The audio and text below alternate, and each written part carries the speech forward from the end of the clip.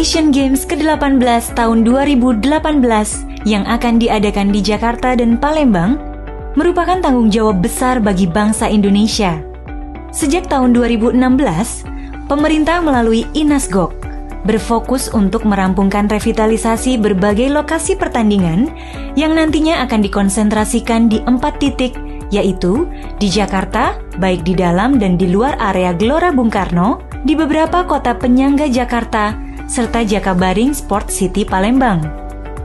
Di dalam area GBK akan mempertandingkan cabang olahraga badminton, akuatik, hoki, rugby, panahan,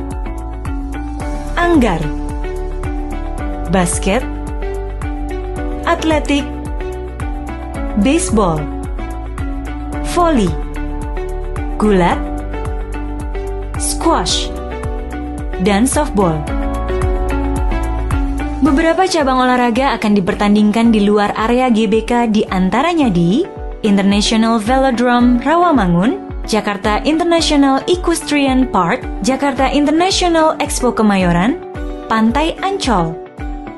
Pantai Mutiara Indah Kapuk, Gor Pencaksilat Taman Mini Indonesia Indah, Gor Popki Cibubur, dan Pondok Indah Golf Course. Beberapa kota penyangga Jakarta juga akan dijadikan lokasi pertandingan, di antaranya di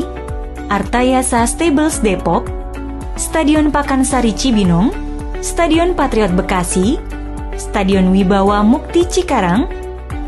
Gunung Mas Bogor, Kebun Hill Subang,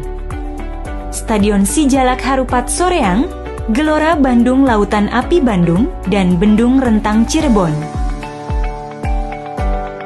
Sedangkan untuk Palembang, penyelenggaraan pertandingan akan berpusat di Komplek Jakabaring Sport City